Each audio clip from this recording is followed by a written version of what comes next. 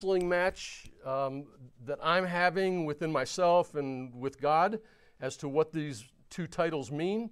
Um, these are two of the over 800 names that biblical scholars have identified in Scripture for Jesus, um, and I think two of maybe, at least for me, the most impactful, um, the, the most um, staggering uh, titles given to Jesus himself. And so I want to I want to see what comes for us, this amazing revealing of what the Son of God is, what the Son of Man is. It is staggering in its impact to us. And so my prayer is that you are um, equally uh, amazed at what these two titles reveal as we take a look at them this morning Son of God and Son of Man two natures. Jesus has two natures one is deity, and one is humanity. And so, those two natures, those two names, those two titles, identities, um, the Bible says are equal. They're equally present in this man, Jesus. And so, when we're talking about Jesus being the Son of God and the Son of Man, we're talking about the two equal natures. And this comes up in a lot of different scriptures that I'm not presenting to you. Philippians 2, John 17, Hebrews 1, Colossians 1, John 10. All of those passages name these titles and speak about how they are equally in Jesus, totally human, totally divine. Kind of crazy to me. So here's this, here's this title that is, is a conundrum for me. So Jesus is coming with the disciples on this given day, and he find, he's starting to collect, he's starting to gather his disciples. And he has Philip, and he says, Hey, Philip, come with me, Andrew, Peter. Um, we're going to go. Um, on the way, he decides he wants to bring alongside Nathaniel. And so they come up to Nathaniel and they have this amazing conversation, this amazing um, interaction where Jesus identifies Nathaniel first. And I'm thinking about your pastor, Tim. I'm hoping that he is sitting underneath some fig tree somewhere. I don't know what he's doing, I didn't ask. But I hope, like Nathaniel, like Jesus saw Nathaniel, he's sitting underneath a fig tree just kind of getting all the good stuff from God, just taking it in. I'm hoping that that is happening so he comes back to you on fire and ready to go to lead, lead you and serve you. Um, but Nathaniel is there, and as Jesus comes up to him, Jesus identifies him first. And he said, Oh, here's an Israelite. Here's an Israelite. Some scriptures, some texts say, in whom there is no, a true Israelite, in whom there is no guile. A true Israelite in whom there is no guile. And, and that, that word means, this translation translated it well, it means that there's complete truth. There is nothing hidden, there's no secrets in this man. He, what you see is what you get. He is honest without a fault. Here is a man with whom there is no guile. And that word guile is a word that in the Old Testament um, is revealed through another man who is Jacob. Jacob is a man, though the Bible says, who was with guile back in Genesis. And Jacob, at another time, was sitting and laying down and had this amazing dream. And you can kind of hear the dream revealed in this text Jacob's dream was of a ladder and angels going up and down, and God presented this dream to him and told him basically in the dream that he's going to be the father of nations and you know the rest of that story. Well, I think Nathaniel was doing a little Bible study in his head before Jesus shows up underneath the fig tree, and his Bible study is about the man of guile, the man is Jacob, and he's thinking about this ladder going up and down and the angels going up and down. And Jesus comes up to him and says, I saw you, Nathan. Lord, how did you see me? Oh, I saw you when you were by yourself. Nobody else was around. I saw you. You were underneath the fig tree. And then the whole rest of this conversation basically reveals that Jesus even knows what he was doing, what he was thinking. He was, uh, Nathan, I know you. I got you, Nate. You were doing a Bible study in your head. You were thinking about the angels going up and down on the ladder from heaven to earth and this amazing relationship. And, and you were thinking about those things, and I'm sure Nathan's just blown away and he's, wow, you saw me. He, he must have seen. Nobody else was there. How could he see me? Surely you are the true King of Israel. You are the Son of God. Wow. And it doesn't say it exactly this way, but I imagine Jesus responding with, Well, okay, yeah, you're right. I'm the Son of God. But Nathan, get ready because you are about to see the Son of Man. So we have these two titles that are interplay, going back and forth with Jesus about who Jesus is, different times in Scripture. In the Old Testament, it's used a ton. Son of God is coming. Son of God, the, you can go to the Old Testament and find all kinds of passages of Scripture identifying the Son of God. He's coming, he's, they're prophesying about him, right? They also, in the Old Testament, talk about the Messiah coming, the Son of Man coming. He's coming as well. So this is a, these are titles that are in Scripture all throughout. And so, Son of God, Son of Man, Jesus, you are the Son of God. I'll tell you, you're going to see the Son of Man. And so, let's take a look at these two titles. Son of God, what is the Son of God? Who is the Son of God? Well, it's Jesus, but what does that mean? What's the description of that? If I were to ask you to describe God, you would give me a great description. We all have an idea of who God is. He's the creator, right? The creator of all things.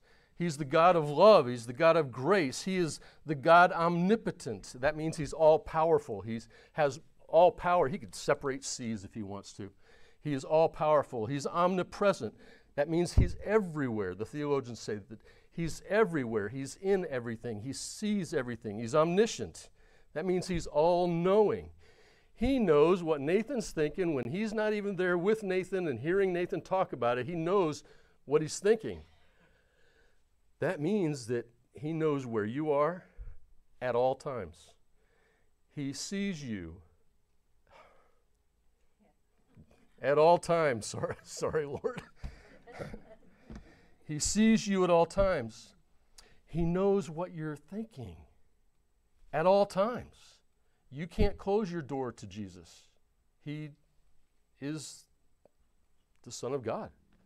So he has love, he's described by grace, he's described by mercy, he's described by justice. He's the God of sometimes wrath. So all of these descriptors, Scripture says, are in God, right? Jesus has equality with God, so they're also in Jesus. So the one walking and talking with them right now has all of God's character, has all of God's stuff in him. He is the Son of God. He also possesses the character of, I don't know if it's a character, he, he also possesses eternality. Okay? God's eternal. Never has been a time when God did not exist. Jesus is the Son of God, equal with God, Never has been a time when Jesus did not exist. That's why we read in the very first part of John, the very first chapter, very first verse. In the beginning was the Word, the Word was with God, and the Word was God. He was with God in the beginning. All things were made. Nothing, nothing without him was made that has been made. In him was life. He's the light of mankind. Who are they talking about? Who's the Word of God? It's Jesus. He's the Son of God. And so he was there in the beginning, this text tells us, and many others tell us that. So there's never been a time that God has not been. Since Jesus possesses that attribute, there's never been a time that Jesus has not been. He is eternal. Wait a minute, that doesn't quite make sense, does it? Sure seems like there was a time when he didn't exist. The Bible says no. So, everything that makes God God, think about that. Everything that makes God God is resident in Jesus. Okay? And Jesus says, But wait, Nathan. Nathaniel, you're going to see not just the Son of God, you're going to see the Son of Man. So something here is special about these two titles. Something's going to happen with the Son of Man that's different than the Son of God. And these two titles try to identify that for us. Nathan, you will see the Son of Man, and I would add, go to work. The Son of Man is going to do something. The Son of Man has come for a real significant reason that you can't anticipate. Maybe you do. Maybe you think you know what might be coming. So the Son of Man, what's the what does that title mean? How does that description happen? The Son of Man is not only God, but he's the Son of Man. That means that everything that humans possess, everything that makes us human, everything is also resident in Jesus. Jesus is human. He is just like you. No wonder he understands us. He gets it. He is just like you and I. Everything that is resident in you and I is resident in Jesus, the Son of Man, apart from sin. Right? The Bible says he's perfect, he's without sin. So he has everything that's us except sin. Unfortunately, we're the ones that have sin. And for some reason, Jesus is apart from that. So the Son of Man, he gets tired, just like every human being gets tired because we wander around, we stay up too late at night, and we get tired. He had to sleep. Jesus had to sleep because the body, the human body, has to stop for a while and recollect its energy. He has to eat. Jesus had to sit down and have a meal every once in a while because he, like all human beings, had to get nutrition from his food for his body. He wept Humans weep. When they cry, they are grieving about something or they're broken for some reason. Jesus wept. Scripture tells us that. He had to be tempted. Man, maybe one of the most human attributes. He was tempted by the devil. You and I are tempted all the time by the evil one. And so Jesus was tempted as well. He was tempted by God, by the, or uh, he was tempted by the devil. And so why? Because that's what the devil does to humans. He tempts them he tries to draw us away from God, and he does that through trickery. So, all the things that make people people, all the things that make people people, Jesus possesses, apart from sin. Okay? How can this be? How is th- this? Just, it blows me away. How can Jesus be fully God with all the attributes of deity while at the same time being fully man with all the attributes of humanity? How could that be side by side in one person? There's only one person on the planet that has this capability. There's only one of him. The answer is, I think, found through the virgin birth.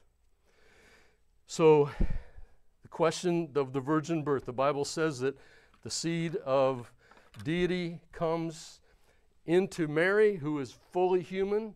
She is not divine, she is fully human. She has sin in her included. And the scriptures say that before she ever slept with her future husband, um, never had sexual relationships, that God came into her. And so,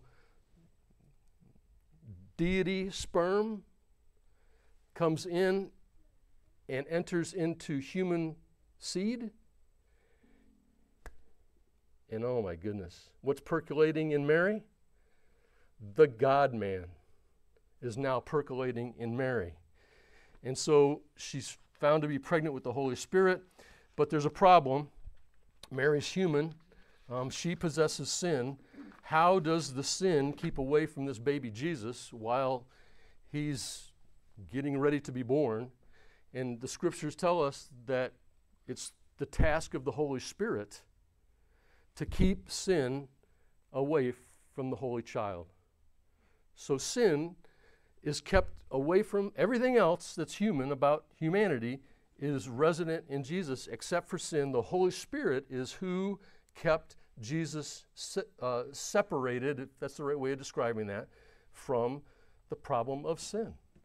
That's how he could be born and called God with us, Emmanuel, without sin. The Holy Spirit had to do his stuff. Now there's a there's a side issue for me related to this, which is a whole nother sermon. I'm going to just I'm going to zip through it really quick, but this is a whole nother sermon. The reason that you can trust that the holy word of God is without error, that it's, it's, it's pure, it's unbroken, it's untarnished, how can that be? It was written by a whole ton of different people from different countries in different years, all put together. It's got to be messed up, right? It's got to be messed up. How is it that the Bible can, can cl- claim 2 Timothy 3 all scripture is inspired by God? How could it possibly be that scripture isn't tainted? Same way that you can trust that Jesus is without sin. The Holy Spirit's task was to keep the, the writing, the scribing of the Holy Word pure, unbroken. The job of the Holy Spirit was to keep the, the writing and the preparations of the written Word as it comes together perfect, without sin, without error. And so you can trust the, the Bible that you're holding is without error, just as you can trust Jesus is without sin. It's because of the same way. The Holy Spirit was involved, keeping that protected, keeping that safe. So the Bible also says that Jesus is the only begotten. In the beginning, he's the only begotten Son of God, John 3:16. For God so loved the world that he gave his only begotten Son, the one and only Son. That means only begotten means there's only one of him. He's unique, he's one of a kind, he's a class by himself. There is no one else like him, there is only one of him. That's why you can't have multiple messiahs. There's only one Messiah. There's only one on the planet that is both equally God and man. And so Jesus is that person. He is begotten. The Jews understood this. This was what became a problem for them. Um, John 5 tells that story. John 5:18, they tried to kill him when he they heard him name that he was equal to God, that he and the Father were one. John 5:18 For this reason the Jews were seeking all the more to kill him because he was not only breaking the Sabbath by I don't know walking around picking grain off the field but he was even calling God his own father. Making himself equal to God. What is that? You know what that is? That's blasphemy. That's absolute blasphemy. Jesus can't be God. He's walking around with us. He's even sinning. He's doing stuff on the Sabbath. He's not, he's not, he's not obeying the laws. He isn't God as well. We got to get rid of him No, we got to kill him. We got to take him down. So, wow. We call him um, the Son of God and the Son of Man. He has a divine nature, he has a human nature. Somehow those two come together in one person. No wonder in one moment he could be hungry, and in the next, the next moment he could feed 5,000 people. No wonder in one moment he could be thirsty, and in the next moment he could walk on water. No wonder in one moment he could die. Only, only humans can die. Spirits don't die, right? Humans die. So no wonder in one moment he can die, but in another moment he can come back to life. You know anybody like that? Not me. Only one. There's only one. So Jesus has what I call a function purpose. Uh, he, he has a reason for being here. Why is this all happening? And, and so I looked up and I looked up, I Googled to help my sermon get better. I Googled son of. So he's the son of God, he's the son of man. So I Googled son of came up with a whole bunch of responses from Google. So, did you know you can be the son of anarchy? You can be the son of liberty. You can be the sons of the church. I would argue the sons and daughters of the church. You can be the sons of thunder, James and John. You can have sons of the ministry. And so the son title identifies not only a biological relationship with your parents, mom and dad, who bring what it takes for you to be a human, but you also have the title son or daughter as a role. There's something you are to do. And Jesus had that same thing. He has a role. He's so when I went on a, a mission trip not too many years ago to Belize, and uh, before we left, the church brought us up and prayed over us, laid hands on us, and kind of sent us out as their ambassadors, as their sons of the church. That was our task to represent the church in a faraway place, telling this other community about who Jesus was on behalf of the ones that sent us. So you and I have a functioning ministry, a role, a purpose. It's not just biological. So when Jesus is called the Son of God, the Son of Man, it's not just biological, there's a role that he's fulfilling. Well, Jesus, Philip says, John 14, been walking along with you, the, been here for a long time. We think you're amazing. Maybe you're the Messiah. Not sure. But listen, Jesus, if you'll just show us the Father, just show us who He is, we'll believe. Remember Jesus' response? He says, Philip, have I been with you all this time, and you still don't know me? Whoever has seen me has seen the Father. Do you not believe that I am in the Father and the Father is in me? Philip didn't get it. He couldn't put together the conundrum of Son of God and Son of Man. He couldn't figure it out. He knew all about it. They've been anticipating the Messiah forever. They knew that someone was coming from God, so they understood that concept. But even the disciples, as they're with him, standing in front of him, they couldn't put those pieces together. So you guys, you guys like selfies. I know. Jesus is God's selfie. So when it was time for God to make himself visible to the world, Jesus entered in. So when you see Jesus, you're seeing the face of God. When you see a picture or when you have an image in your mind of Jesus, the man, that's the selfie of God. Guys, don't you know who I am? I'm God. I'm standing right here in front of you, Philip. If, if you just show us God, okay, but if you just show us God, then we'll believe. So he has these two natures, these two ministerial responsibilities, one in man and Jesus, and it's powerful, it's amazing. No wonder, you know, the, that Christmas passage now has new meaning for me when I think about it. I, Isaiah 9 6. For unto us a child is born. Who's born? The human Jesus. For unto us a son is given. One's given, never born. One's born through the human mother, and he shall be the Emmanuel. Unto us a child is born, unto us a son is given. Um, so, of his eternality, they had this conflict with Jesus when he got into a head battle with the Pharisees and the Sadducees. And John 8 says, in part of this conflict, Are you greater than our father Abraham? He died, and so did the prophets. Who do you think you are? Your father Abraham rejoiced at the thought, this is Jesus talking, your father Abraham rejoiced at the thought of my coming one day. What? Abraham's, what, 800 years, a long time ago? You mean you think you talked to Abraham? And they said to him, You are not even 50 years old, Jesus. You can't possibly have talked to Father Abraham about this.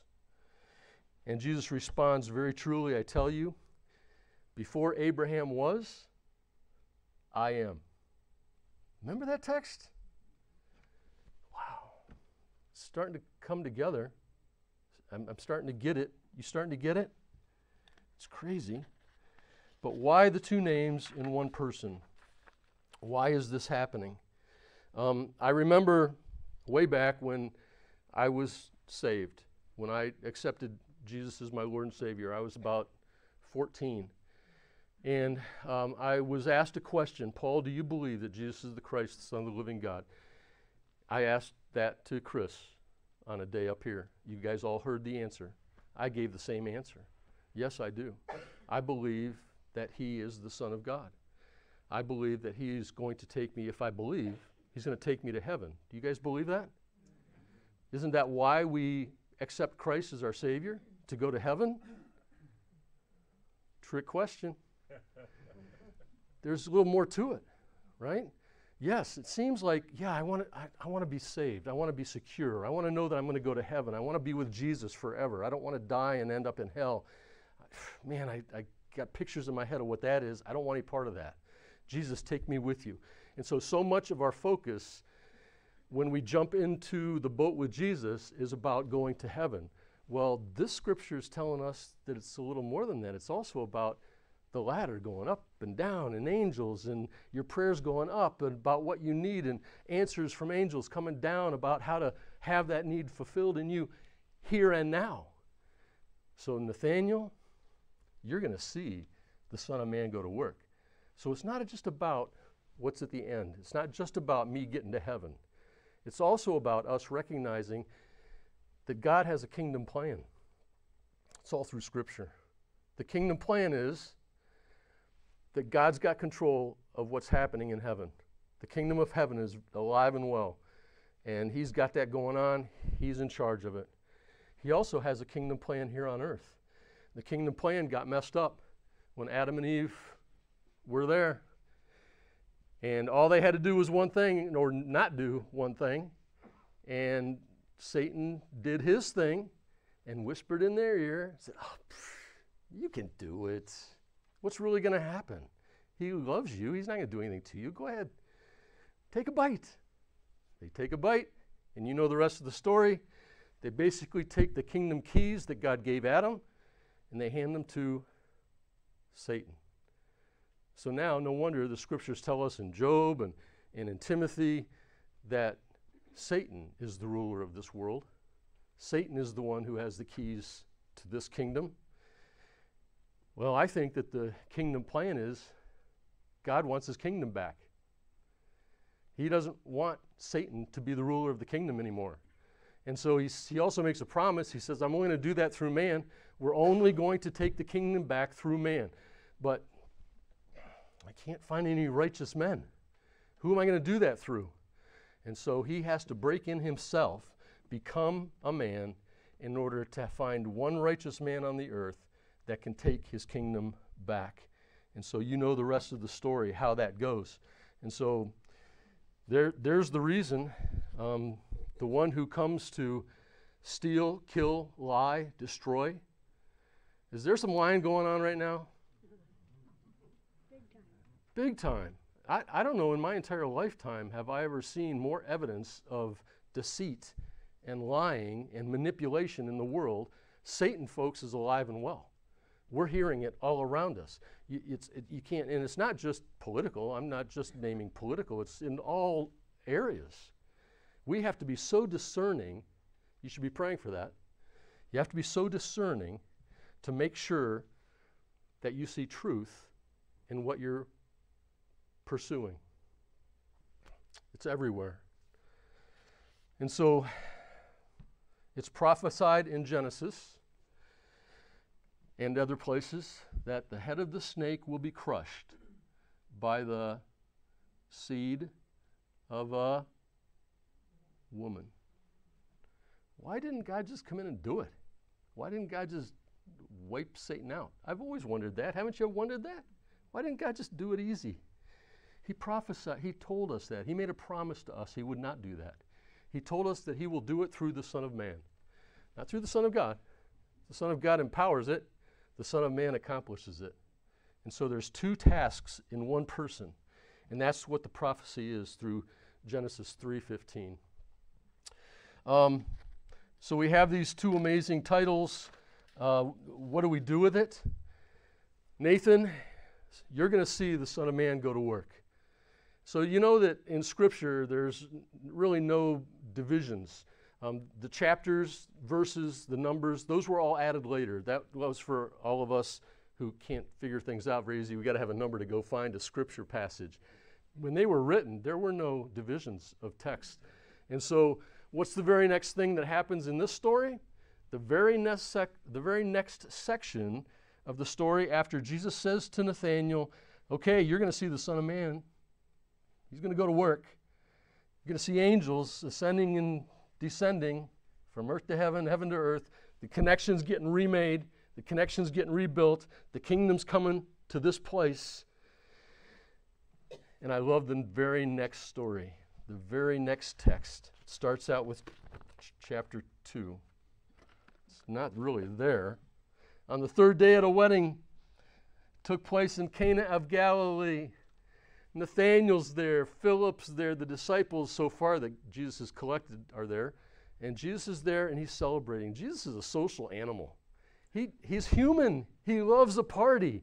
If you were having a party, you'd invite him because he loves to laugh and he loves to drink Kool Aid. I'm a Baptist. Don't, me- don't mess with me, man. He loves to go to a party, and at this party, it's just going great, and I'm sure he's having a fun time and celebrating. You know, in Scripture, the Bible tells us that wine is used in celebration of all kinds of things. One of them is weddings.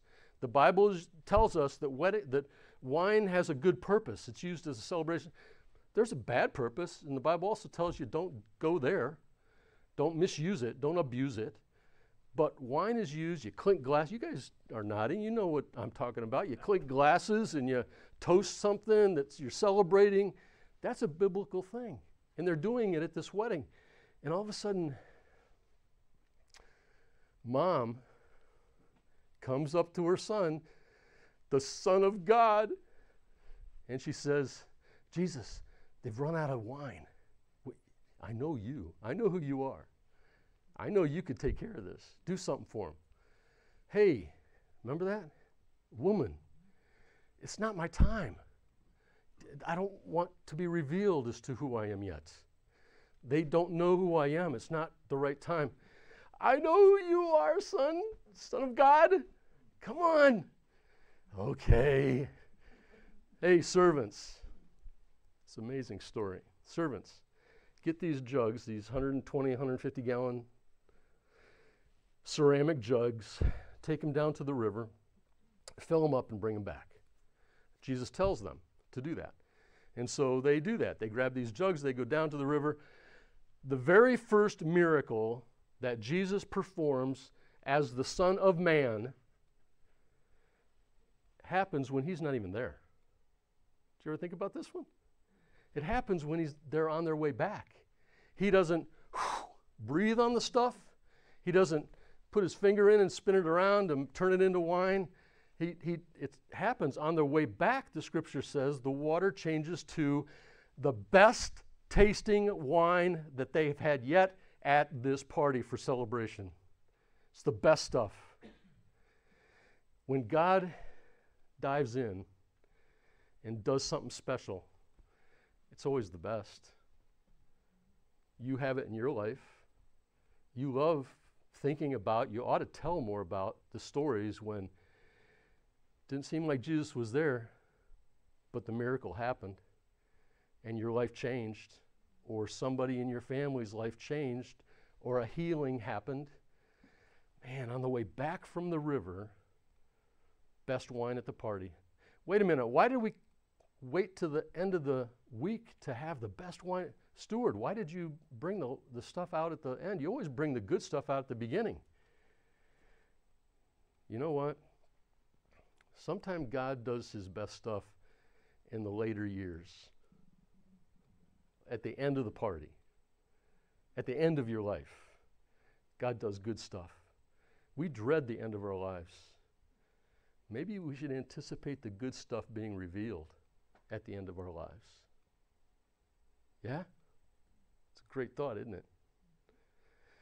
So my sense is, is that we're supposed to learn from this that the Son of God empowers the Son of Man. Um, you know, I, I can just see Jesus, the human guy, sitting there going, you know, twitching his nose. like Bewitched. That's a really old, you guys all know that. That's a really old one. He's twitching his nose and saying, Son of God, come on, God, do something. And through Jesus, something happens. I don't know if that's how it goes. It kind of seems like that's how it goes. Jesus has the ability to do anything he wants. His power is from God as the Son of God through the Son of Man, and the water changes to wine. Very first thing that happens. I'm waiting at the party for the wine to show up. Sometimes you wait at the party for the wine to show up. And so we come to church and we listen to a really good sermon and we go home and we feel like we've we're okay. Haven't done anything other than listen. And I hear in this text Jesus telling us, go to the river. You got to go to the river. Servants, you got to go to the river, get the water. Jesus, just do the miracle. No, go to the river, do what you've got to do in ministry so that on the way back you can see what God's going to do through the Son of Man. Powerful? It's an amazing thought. Church, you're called to go to the river. Don't sit here. You're called to go and do the ministry function, not just wait for heaven to show up, but to recognize heaven's already here. And God wants you to do ministry functions so that He can show the power of who He is here on earth in His kingdom in this time. If He doesn't, who's going to be visible? Satan's going to be visible. He's clear as a bell to me right now. We need to see Jesus visible, and it happens through us. Amen? Amen. Amen.